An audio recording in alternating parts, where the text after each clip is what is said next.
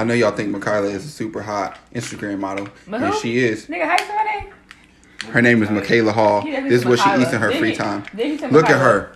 That's very hefty. Of He her. definitely said Makayla.